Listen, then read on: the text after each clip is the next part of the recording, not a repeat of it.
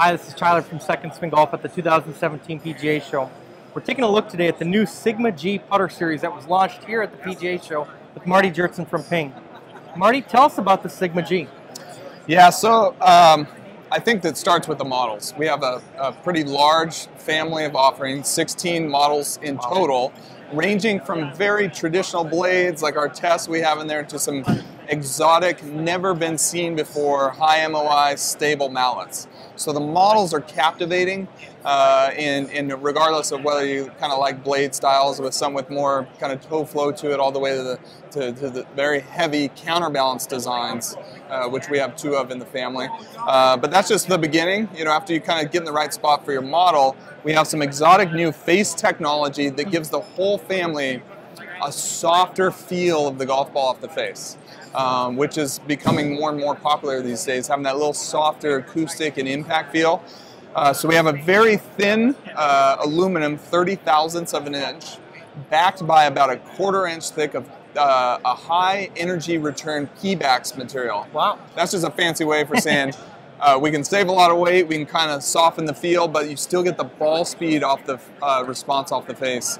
Uh, to go along with our TR face technology, as many are familiar with out there, it reverses uh, the effect of losing ball speed if you don't hit your putt perfectly. Well, and that, you know, the TR uh, insert here is, you know, something that we've become familiar with on the Ping Putter series of late, which has been a, a huge addition to the line and what Ping has done in the putters.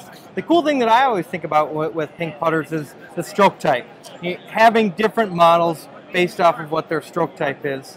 Uh, tell us a little bit about what each stroke type is and how important it becomes as part of the fitting process for determining the right putter in the Sigma G line.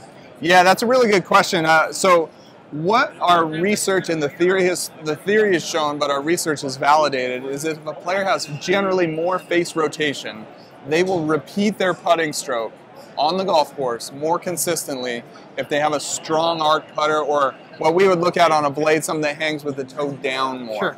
That will work in harmony with their mechanics and they'll just be able to repeat that stroke better. Uh, likewise, if somebody has less face rotation, they'll do better with a more face balanced putter.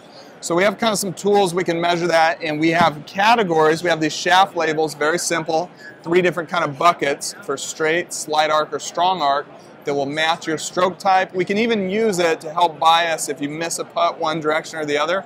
We can even use the balance of the putter and how it hangs to help influence that along with all the other fitting variables. You know, the neat thing here is that Second Swinger utilized the iPing app to determine the right stroke type for your putter, which also helps determine lie angle and loft. Stop into Second Swing Golf today to get fit for your new Sigma G putter.